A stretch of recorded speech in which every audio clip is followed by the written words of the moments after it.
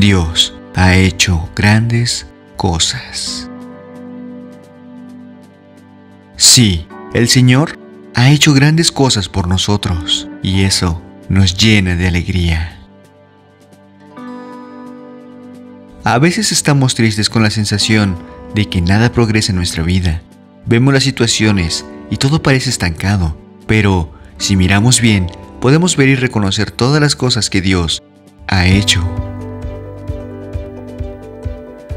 Una buena manera de apartar la tristeza y alegrarnos es reconocer todo lo que Dios ha hecho en nuestras vidas.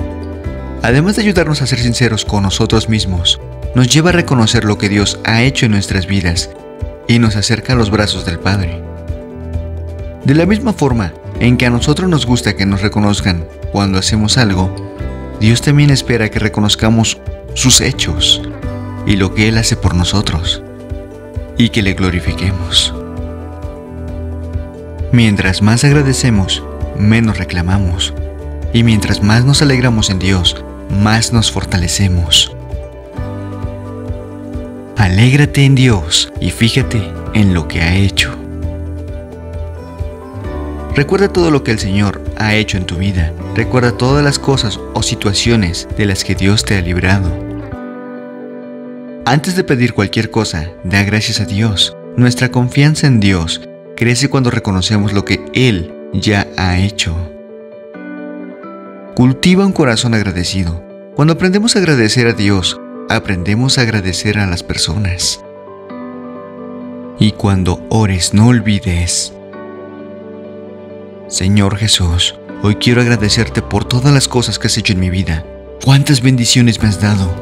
Sin tu favor, no estaría donde estoy. Confío en ti y sé que cuando tú obras, nadie lo puede impedir. ¿Cuántas cosas has hecho por mí? Por eso, estoy alegre. Gracias. Padre amado, en el nombre de Jesús. Amén.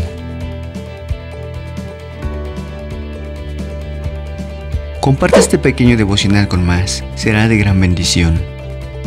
Suscríbete si aún no lo has hecho. Y activa la campana de notificaciones para recibir más videos como este. Ah, y recuerda, porque buscamos que muchos más sean libres. Hasta el siguiente video. Que Dios te bendiga.